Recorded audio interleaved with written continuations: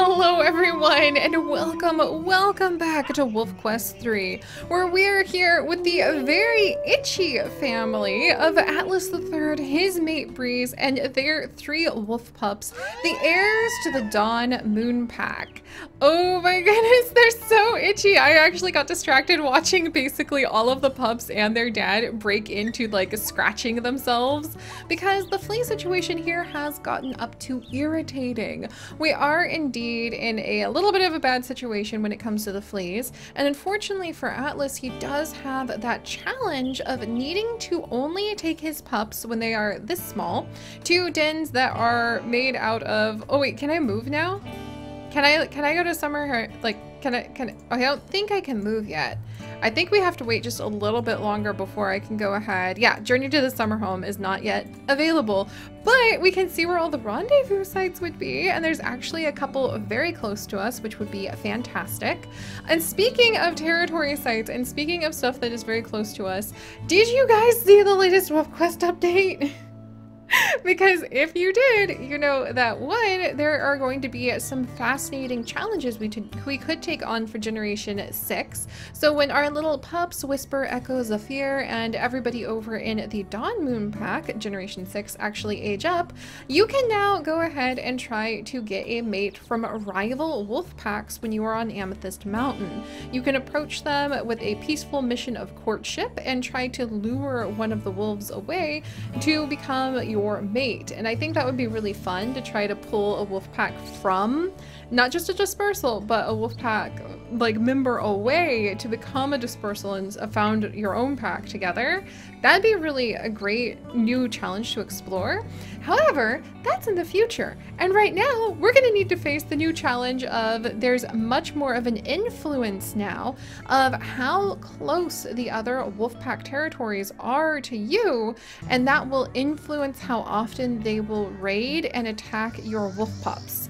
And that, it doesn't matter like if your influence is really low, like right over here, it's like 17% influence from our pack on that area. Doesn't matter, that counts as a buffer.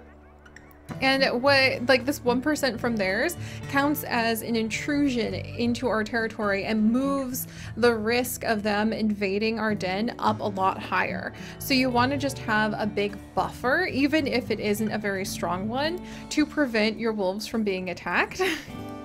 so knowing that now, I feel like Atlas has had like all of the hardest updates that have also been really fun, but also all of the hardest updates have been added when he's trying to raise his wolf pups.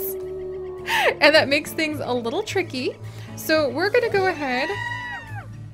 Oh, oh my gosh. Okay, well, we're gonna go ahead and we're definitely gonna like play with the pups really quickly because this is just way too precious. Uh, the pups are clearly in an extremely itchy situation. Oh, you guys are so cute. Oh my gosh. I love taking these pictures because trust me, after a year of doing this, over a year of our Wolf Quest episodes, I have learned, okay, there's Whisper, that it is just so rewarding to be able to look back on your pups. I guess it's like they say about raising kids. You think you'll have all this time to do all- go on, Zephyr. You need to go ahead. I know, he doesn't want to listen. He wants to hang out with dad because he's like, I'm alive, dad. I didn't die of illness. I know, son. I'm very glad about that. All right, let's go ahead. I think we're gonna go to the west and then maybe to the north to kind of get a little bit of elbow room and we'll go see what Breeze is up to. Uh, we also need to see if we can find some food. Potentially, that food could be some more ungulate babies, but we'll have to see, like, if that's gonna happen. Ooh, there's a lot of good smells coming from over here. But I do feel for Atlas, uh, because he has had just such a rough go of it, in my opinion. Well, what? There's already an ungulate baby somewhere nearby? I know the hex is still strong. I'm trying to re reinforce it just in case. Alright, and we're itchy! Maybe the only thing we can hunt right now is going to end up being these babies out of the sheer desperation of the fact that we are extremely itchy. Alright, we'll just, we have to carry on our mission of like finding big food too. It'd be nice to find easy food, but I don't even smell where the mom potentially is. And there's a lot of babies that'll probably be just popping up in these grasses like daisies. Daisies that you can eat. Can you eat a daisy? I don't know if daisies are considered a um, safe edible plant. Like, oh, oh, hey. Well, nice! And Breeze is coming back. Oh, and we're very itchy. All right, so I think this is actually, yeah, this is a fawn. So there's a mule deer somewhere nearby. I'm gonna make sure Breeze is full. Oh, thank goodness. Oh wait, no, she, yeah, she's full. I was looking at help. Uh, so Breeze is pretty full. We're just gonna get our food up to 100, and I think that's actually gonna take the whole, yeah, it's gonna take the whole fawn, unfortunately. But, you know, we gotta feed ourselves if we're gonna be able to be strong enough to take care of all of the the kidlets as well. Breeze, how cool! I wonder what she's doing. Maybe she's like strengthening territory. Oh, she's hunting! Breeze, you're amazing! She was on the hunt, you guys! Oh my gosh! That was really cool. She like found an elk herd for us. Well, let's give him a little rush. All right, get a move on. Gosh darn it. Wait, if you're gonna just stand there, look, you're too healthy for this nonsense. Y'all need to start running. Or else I'm just gonna start biting. I mean, you're kind of weak. Oh, you're actually getting weak pretty quickly. Oh, that's because Breeze is right here. All right, fine.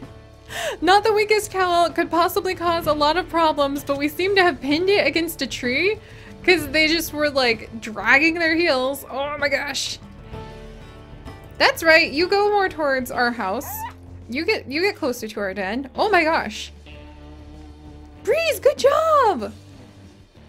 Wow, like so we went to go see what she was up to and she was just kind of like watching this elk herd relax and waiting to figure out the right time to attack. And then it feels like that was coordinated. Like we, we were like, okay, I'll take care of the kids and join you. Nice job, you two. All right. Normally we can't howl when Breeze is with us, but we can. I, I did double howl by accident. There we go. But we can when it comes to marking carcasses. Very close to home. Excellent. Now let's make sure that the Prospect Peak Pack doesn't get any very dumb ideas and try to come and invade our territory. Too bad, like, it's actually more useful to be able to bring home ungulate babies because that's a lot more food for our pups, but we are actually getting ready to go ahead and leave the den soon.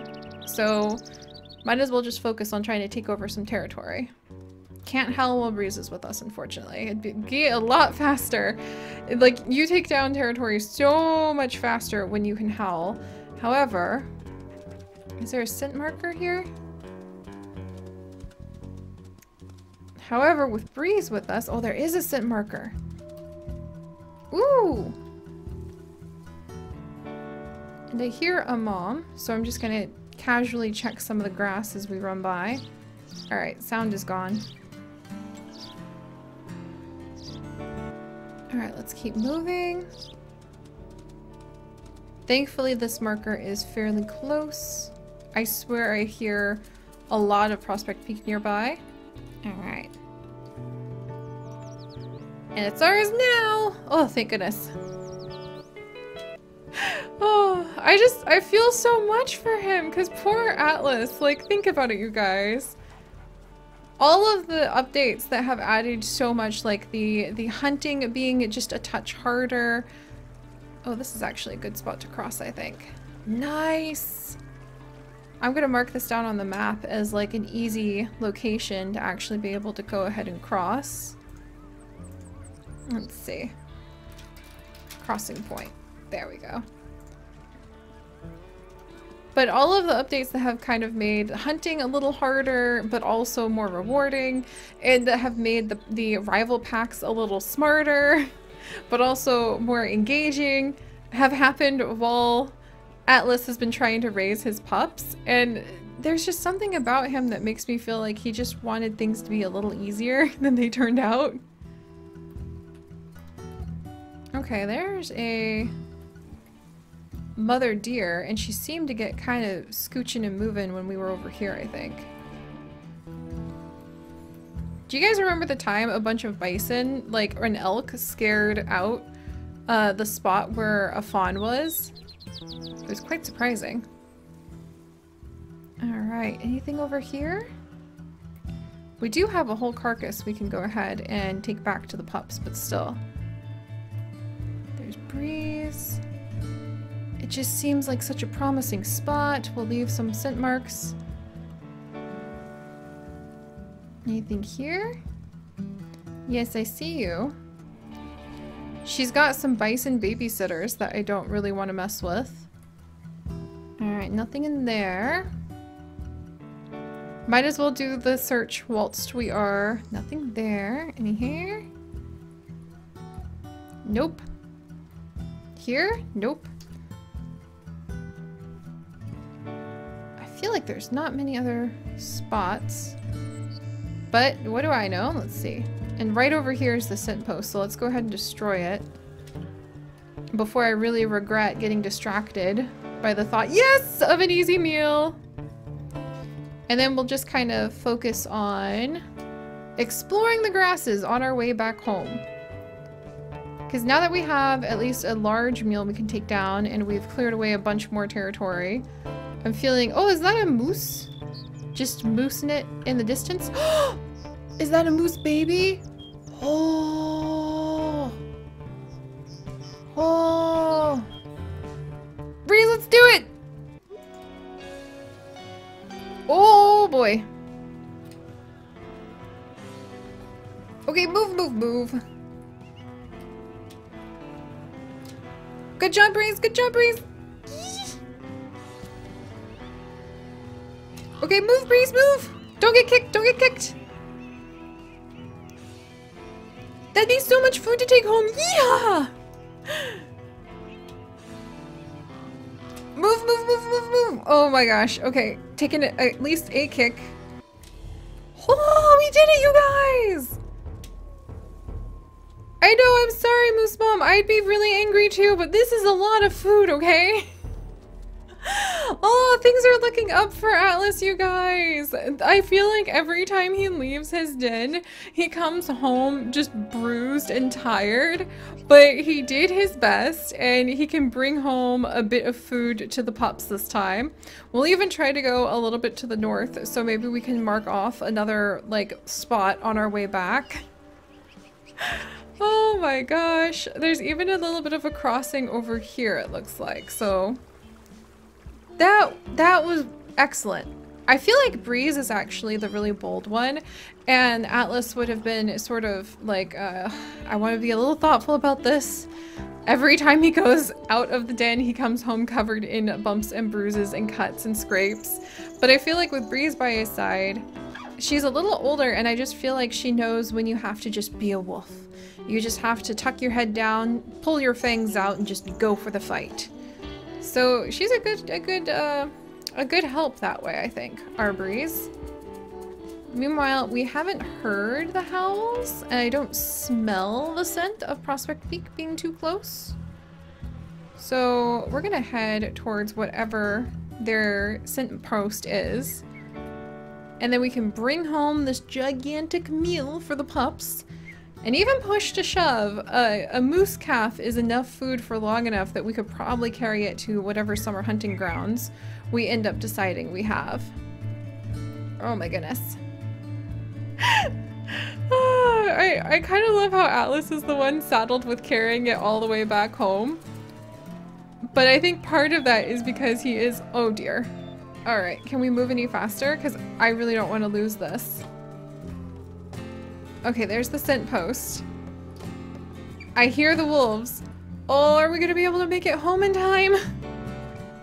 Are we gonna be able to make it to the to the spot and home in time and claim this spot in time with no howling? Even though I hear them in the distance, I do not want to lose my my moose carcass because this is a good bit of food for the pups. Oh, go ahead, let's go!